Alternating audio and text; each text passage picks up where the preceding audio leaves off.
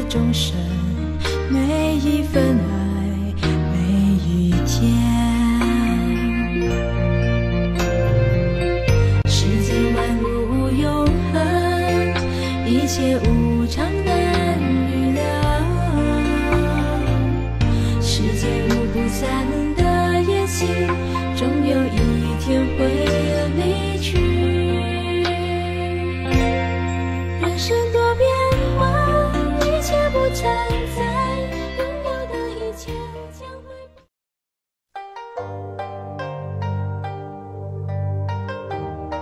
认识佛陀。一，佛陀是怎么来的？成佛的因是什么？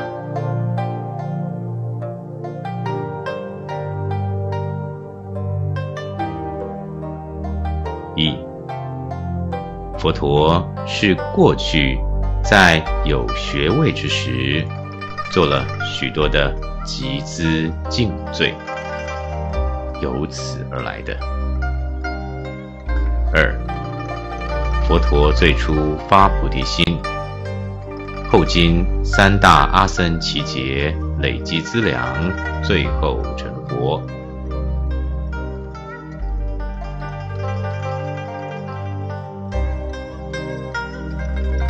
一，在第一大阿僧祇劫。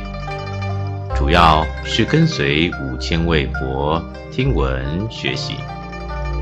二，在第二大阿僧祇劫，主要跟随六千位佛听闻佛法，好好学习，累积福德与智慧二资粮。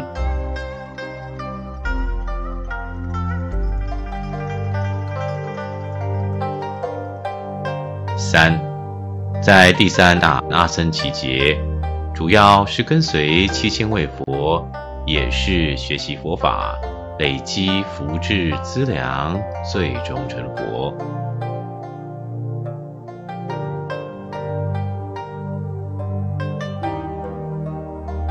四，由此我们了解到，佛果位的获得并不容易。必定要经过许许多多资粮的累积，辛苦而得。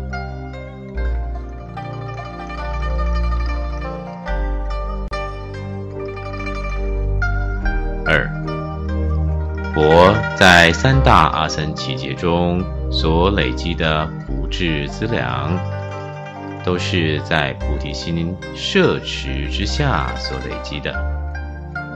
这样所累积的这个善业，在未成佛前都不会晚尽。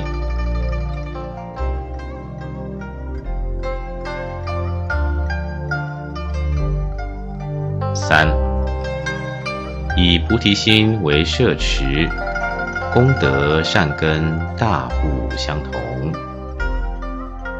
一，对佛教徒而言，生病时。可能会为了病好，特别会去修一些法事，去做一些法行，诸如拜忏、放生、烟供、施食等。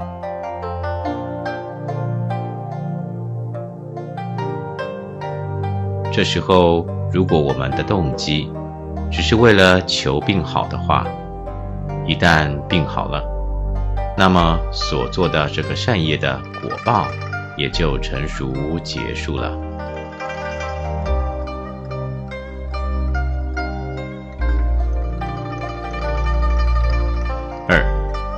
当然最初动机是希望病好，但我们可以再对我们的动机做个调整，也就是把我们的动机从单单求疾病能够赶快痊愈。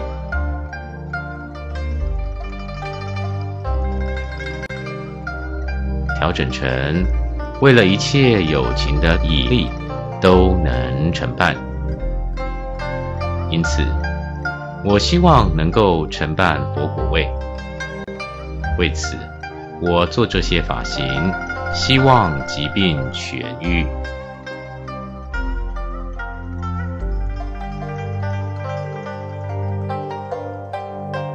三，由于有菩提心的摄持，你现在所造的这个善业，不会在你病好之后就没有了，会一直延续到你成佛为止。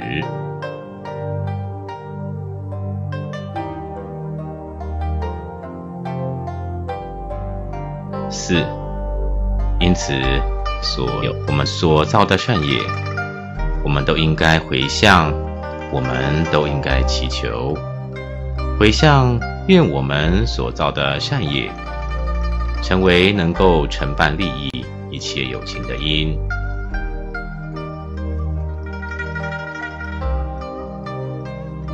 当我们内心一直朝这方面祈求回向，实际上，我们自己也会得到好处。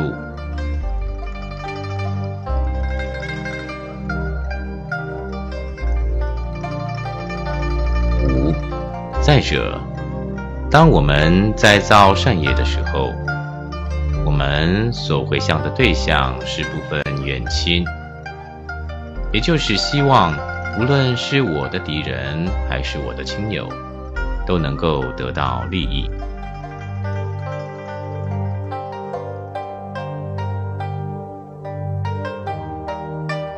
六，我们应该这样想。希望那些不喜欢我的人，我的敌人，他们也能够快乐。虽然这样想，一开始心里会有点不太舒服，可是我们还是要这样去想。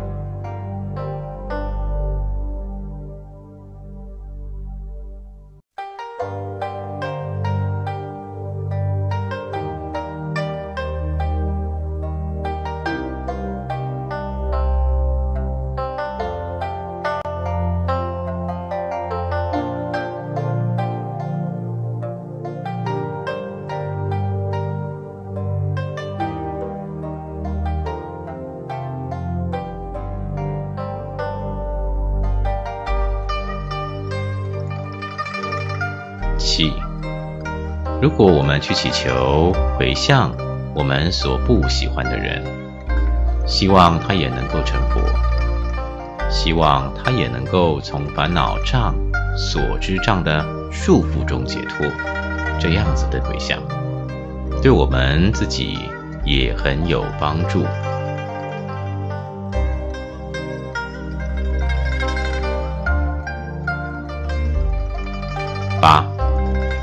如果我们只想着希望我的亲友们都能够获得快乐，都能够得到好处，这样有所值的想法，利益很有限。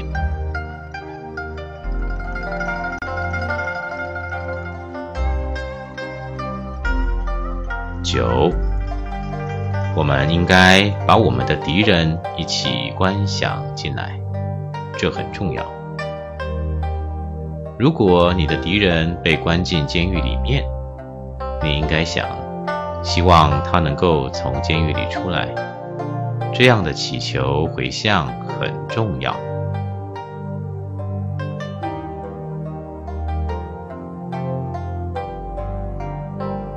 四，佛陀的身形之所以如此庄严，是由于过去他在有学道。修习安忍度的缘故。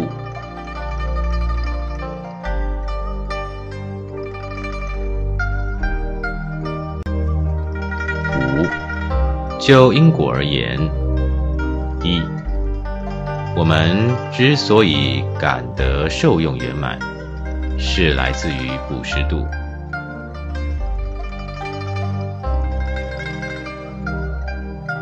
二，之所以。能获得善的所依，来自于持戒；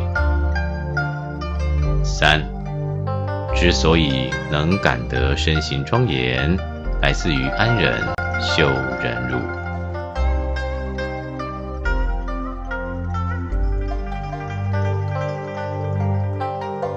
六，如果看到别人长得很庄严，都是由于过去世。忍辱修得很好。所以，如果想要来世长得很帅、长得庄严的话，现在就要修安忍。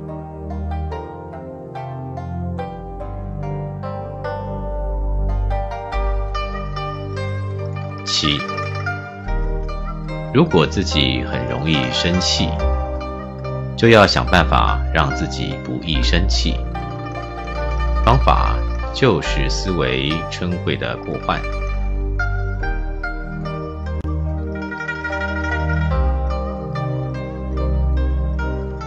一，嗔恚有什么过患呢？有这一辈子就可以现前看到的过患，以及虽然没有办法现前看到，可是依旧存在的那些过患。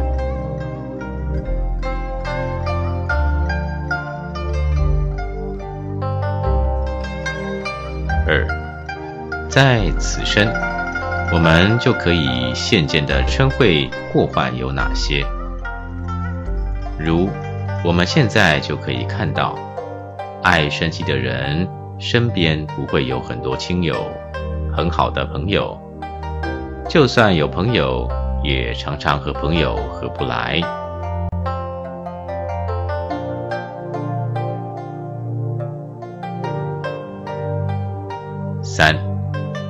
现前所没有见到的称谓过患有哪些？比如来生可能会由于我们这一辈子嗔心的缘故而堕入三恶道，或即便我们来生并没有投到三恶道而身为人，我们也会长得不好看。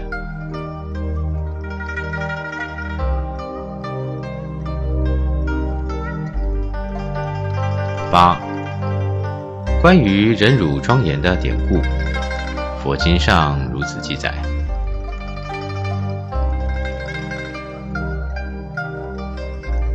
一，我们现在是处于有佛法的时候，可是佛法会日渐衰退，到最后这个之间会充满着各种疾病，有很多的战争，会使得人的寿命越来越短，而我们。人的身形也会越来越小。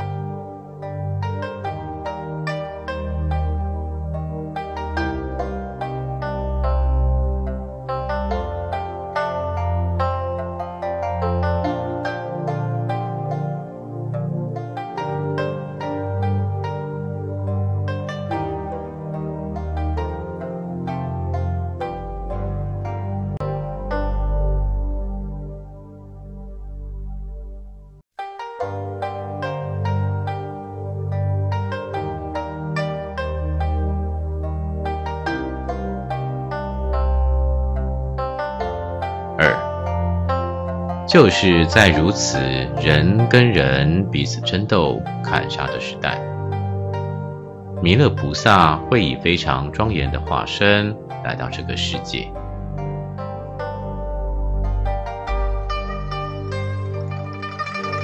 由于弥勒菩萨以非常庄严的身形来到这个世间，那时会有很多人都喜欢弥勒菩萨。感觉他非常庄严，就问他：“您为什么能够长得如此庄严呢？”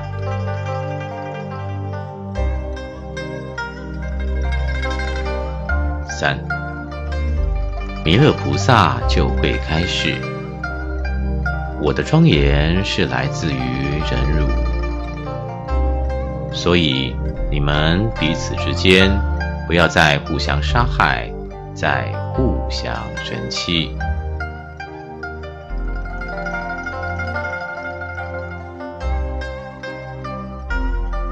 四，弥勒菩萨做这样的开始之后，那时代的人就相信弥勒菩萨所说的话，彼此间就停止互相伤害，和睦相处。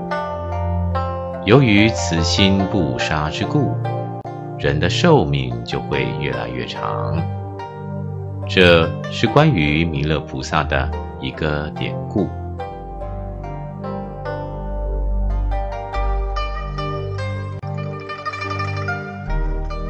五，有情在弥勒菩萨化身的教化之下，寿命就越来越长。等到人寿八万岁之时，弥勒尊佛会降生来到这个世间。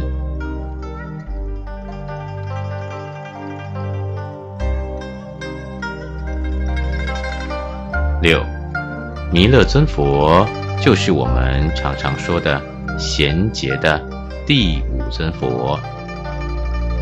我们在第四尊佛释迦牟尼的教法弘扬的时候，尽力对释迦牟尼的教法作文思修。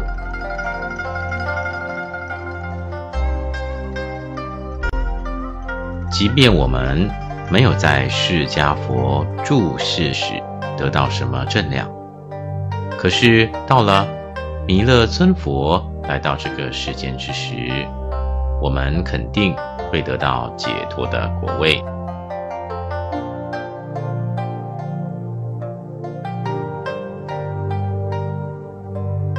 七，弥勒菩萨的这个例子是在说修安忍的功德，所以修安忍是一件非常重要的事情。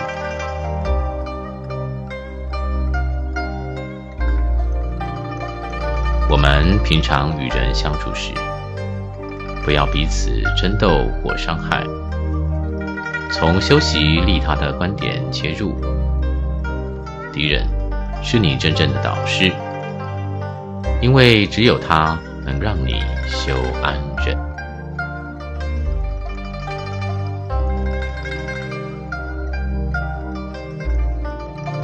八，没有修习安忍。就会被愤怒左右，而不能培养真正的爱和慈悲。因此，面对敌人，我们反而应该内心充满感激。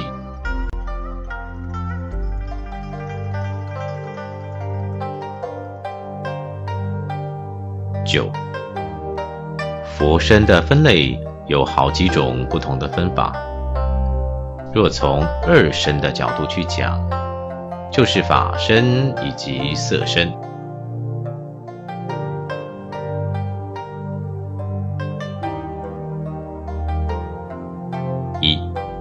佛的法身，指的是佛心相续当中的一切种智，或者说智慧法身。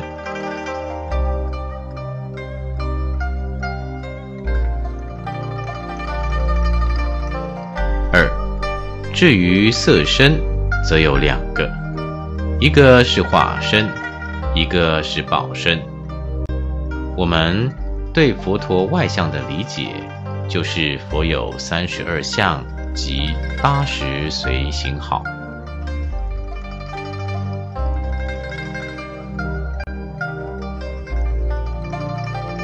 十，佛经论上用妙好监视。众相花夫这八个字来解释佛身的功德，此中包含三十二相八十随行好。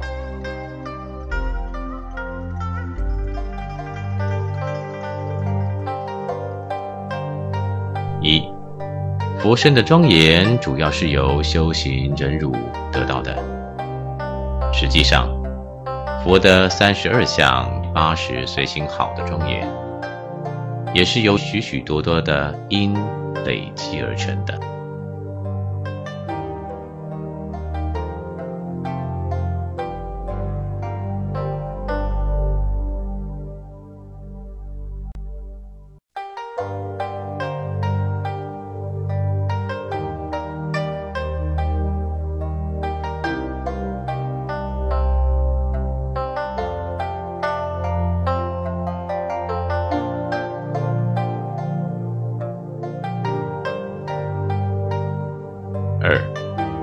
在修皈依之时，若时间充裕，也可一一针对佛陀的三十二相去思维。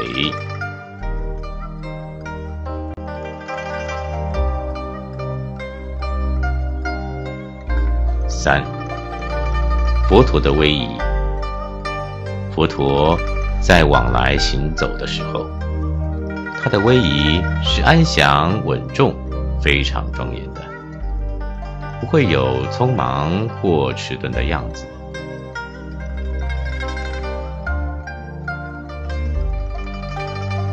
佛陀的坐像也非常的如理，看起来非常的庄严。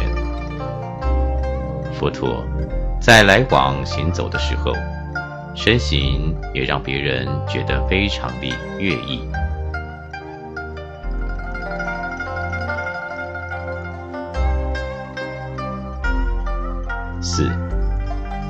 虽然佛陀的威仪是如此庄严，可是有时候为了要调伏或摄受某些众生，佛陀也会故意有不同的走路姿态。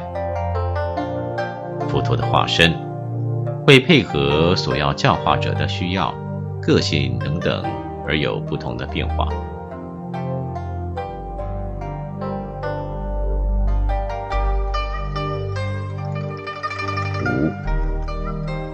佛陀会随顺众生根基而实现该有的形象，连圣者菩萨都已经不会再有生老病死等病苦了，更何况是佛陀呢？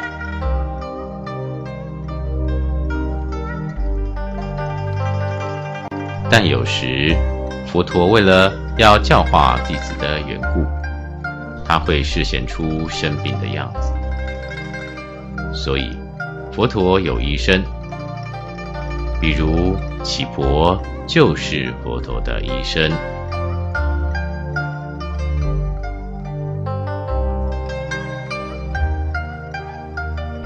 六，佛陀时常教诲弟子，行仪必须端严肃正，内减其心，外舒其身。无论动静举止，皆如法如律，如佛所教。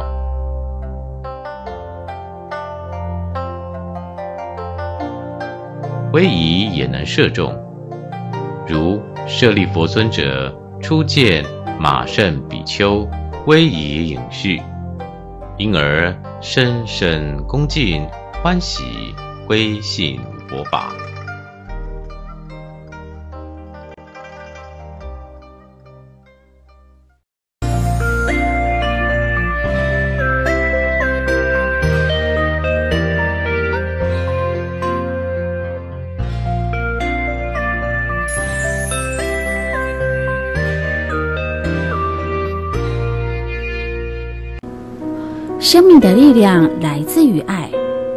慈悲的奉献就近帮助众生离苦得乐。所以，生命电视台带着大家吃素、放生、施食、救苦救难，到处去利益众生。愿大家多护持生命电视台，让佛陀的智慧，让佛陀的大悲心充满这个世间。护持账号。一九九六五二三二，一九九六五二三二，户名生命文化基金会。新逢教孝月、吉祥月，慈悲置业台南分会恭送地藏十轮经，恭请慧信法师主法，日期七月二十九日至八月二十七日，时间每日下午两点，联络电话零六二七一六六一六零六二七一六六一六。或零六二七一六六一二，零六二七一六六一二，地点台南市永康区永大路二段三百四十五号，敬邀菩萨参与熏习，同沾法益，共沐佛恩，避免信众于密闭空间无法保持社交距离，一律采直播方式共沐佛恩。现场无法立牌位，请上网登记为往生四十九日内的亡者回向，亦可登记毛孩。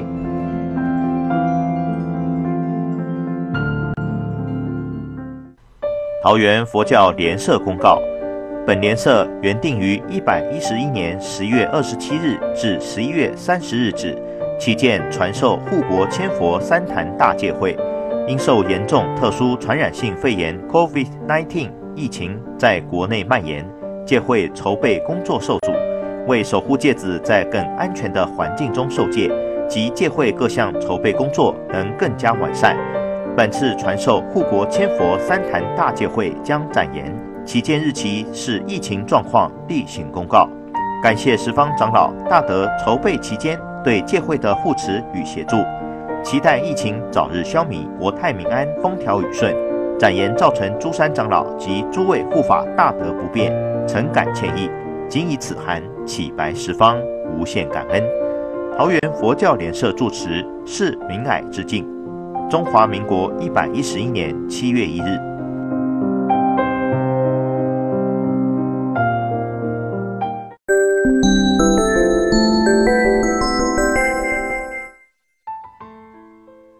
从前，在佛陀的居所附近住着一个名叫勾葛的猎人，脾气暴躁，不通情理。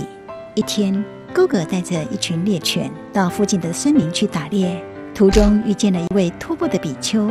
勾哥没来由地生起气来，口中不断咒骂着：“一早就先碰到了个光头，真是倒霉。”骂着骂着，勾哥还是带着猎犬们往森林的深处前进。比丘也继续前去化缘的村庄。在回程的路上，什么猎物都没猎到的勾哥，竟又遇上了托钵回来的比丘，这下心情更糟。看到比丘迎面而来，他满腔无从发泄的怒火又熊熊燃烧了起来。今天什么都没猎到，一定是这光头害的。没想到一天来回碰上两次，说不定接下来几天都一起倒霉了。盛怒之下，勾哥当场就对身边的猎犬下令，要他们把比丘吃掉。今天出门打猎白忙了一场，都是你害的。你这看到就让你倒霉的光头。比丘惊慌地说：“这位先生，我跟您素未平生，无冤无仇，你怎么就突然就要置我于死地呢？”勾哥一心只想将比丘除之为快，情急之下，比丘只得拔腿飞奔，爬到树上。猎犬们不会爬树，于是便围在树下不停狂吠。勾哥也随手抽出了剑，往树上不断戳刺。比丘在树上拼命地左闪右躲，狼狈不堪。一不小心，他的袈裟就从身上滑落了下来，正好当头撞在勾哥身上。看起来就像勾哥穿上了袈裟一样。一旁的猎犬看到穿着袈裟的人，都以为是比丘掉下来了，纷纷扑上去狠狠地撕咬。勾哥马上就被咬得皮开肉绽。